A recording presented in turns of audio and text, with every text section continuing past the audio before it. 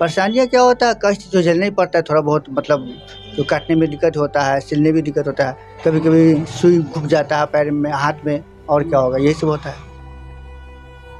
कहते हैं कि मन में अगर कुछ करने की लगन हो तो बड़ी से बड़ी बाधा छोटी हो जाती है। कुछ ऐसा ही बुलंद हौसला दिखाया है। दोनों हाथ ना रहते हुए भी मुजफ्फरपुर के बोचाहा के मोहम्मद समसुल जिनका बचपन से ही दोनों हाथ नहीं है।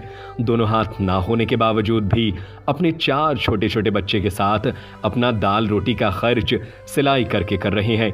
वहीं उन्होंने बताया कि अपना घर परिवार दर्जी का काम करके छोटे बच्चे का पढ़ाई लिखाई के साथ परवरिश करना पड़ रहा है। वहीं कभी कभी सिलाई के दौरान नुकीले सुई भी चुभ जाती है फिर भी अपने काम के प्रति हौसला बनाए रखते हैं।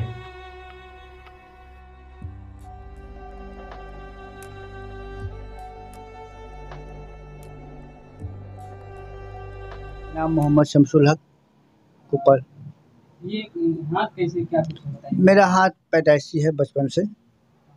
मेरा हाथ पैदाइशी बचपन से है।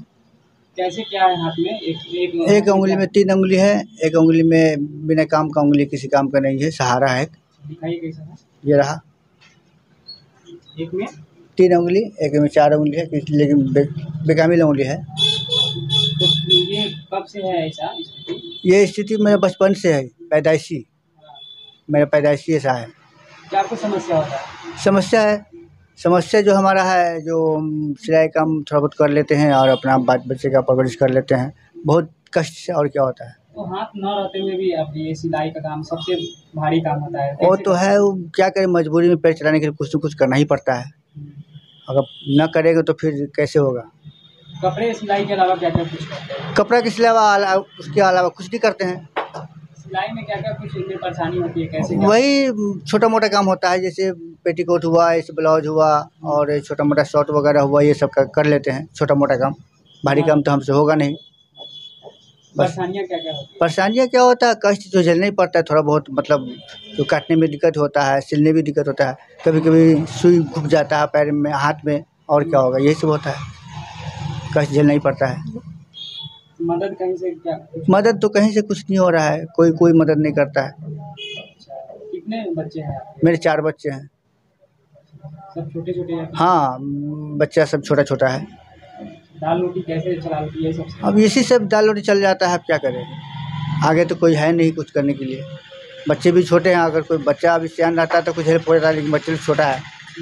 और कुछ होता नहीं है बस इतना ही हमारा सहारा है यही सिलाई करने का। सिलाई की लाइन में कब से है? सिलाई के लिए लगभग हम बीस पच्चीस साल से है। सिलाई कर रहे हैं। हाँ सिलाई कर रहे हैं।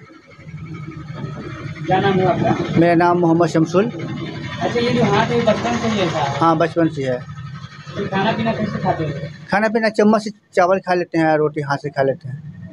मीट मछली अगर मीट मछली वही थोड़ा कष्ट होता है खाने में। है। क्या लग रहा है दूसरों को अगर जिस तरह से हाथ होंगे आप अपने फिर हाँ वो तो फेल होता रहता है कि क्या वैसा है हम भी चलो हम भी भगवान के शुक्र है कि हम कुछ कर लेते हैं। हाँ बस यही है और क्या है। मेरा घर गोपालपुर गोपाल जो है एन एच संतावन के साइड में है।